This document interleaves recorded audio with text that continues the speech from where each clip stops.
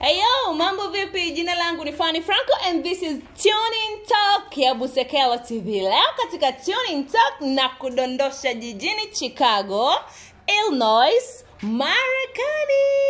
Huku bwana tunaenda kumpata bwana Robert Sylvester Carey, namzungumzia R Carey. Kama mnavyojua mambo ya story story, kufungwa, makesi, mahakama, manini basi kabla hatujafika huko nataka nikurudishe kidogo upate kumjua kidogo kwa ufupi bwana robert sylvester carey robert sylvester carey amezaliwa tarehe 8 januari mwaka 1967 ni mwimbaji wa mziki wa rnb na mtayarishaji wa rekodi kutoka nchini marekani. Anafahamika zaidi kwa jina la kisanii kama R. carey. Alianza kuingia katika kazi ya muziki kwa mara ya kwanza kunako mwaka 1992 akiwa na kundi la public announcement.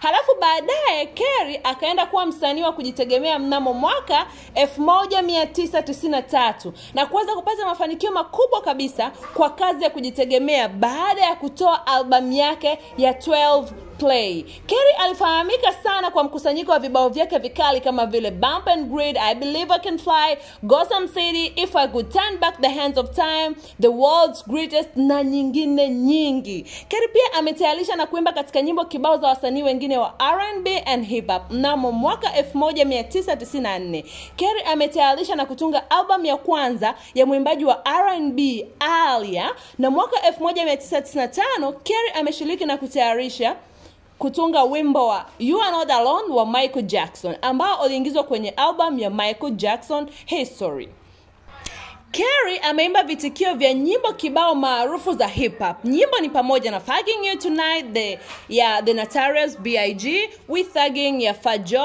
Gigoro ya Nikano. Ameshirikiana na Jay-Z katika album mbili za pamoja. Katika maisha yake binafsi, R. Amekuwa na kashfa kadhaa za ngono. Taarifa zilieleza kwamba alimuoa binti mdogo Alia ambaye yeye ndiye alikuwa mtunzi wake wa nyimbo. Kelly na Alia wakasitisha ndoa yao baada ya kutolewa video ya mtu mmoja aliyedaiwa yeye kufanya mapenzi na msichana mdogo. Kelly akashtakiwa katika kesi kadhaa za ngono za watoto mnamo mwaka elfu mbili na mbili. Baada ya makawio kadhaa, kesi yake ikapelekwa kizimbani mnamo mwaka elfu mbili na nane. Baraza la wazee wa mahakama ikamwona Kerry hana kosa katika mashtaka yote. Januari 2019 kipindi cha television cha Lifetime kilitoa filamu iitwayo Surviving arakeli. Ilionyesha wanawake wanaomshutumu kwa unyenyesaji wa kingono. Kutokana na tuhuma hizo, kampuni ya RCA Records ilifuta mkataba wake na Kelly. Februari 22, 2019, Kelly alifunguliwa mashtaka mengine. Julai 11, 2019, Kelly alikamatwa kwa mashtaka kadhaa ya ngono. Hadi Julai 12, 2019, Kelly anakabiliana na mashtaka 18 ikiwa ni pamoja na kufanya mapenzi na watoto wadogo, kuteka nyara na kazi ya kulazimishwa. Basi bwana, mwimbaji sawa rnb nchini Marekani, Ara Carey amehukumiwa kifungo cha miaka ishirini gerezani katika mahakama ya shirikisho la jiji la Chicago jana kufuatia kukutwa na hatia mwaka jana kwa mashtaka ya kufanya ponografia ya watoto na kuwashawishi watoto wadogo kufanya vitendo vya ngono. arakeri mwenye umri wa miaka 56 tayari alishaanza kutumikia kifungo cha miaka 30 jela kutokana na hukumu yake nyingine New York dhidi ya mashtaka ya unyanyasaji wa kijinsia katika mahakama ya shirikisho New York.